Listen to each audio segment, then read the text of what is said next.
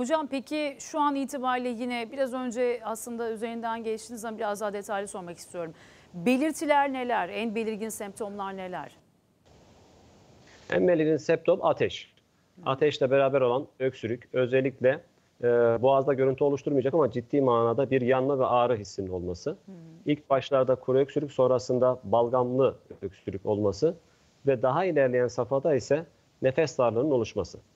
Normal bir biz nefes darlığı oluşacak derecede ilerleyen şey e, bir klinik bulgu pek görmeyiz. Ama burada e, vakalarda e, akciğer tutulumu biraz daha fazla.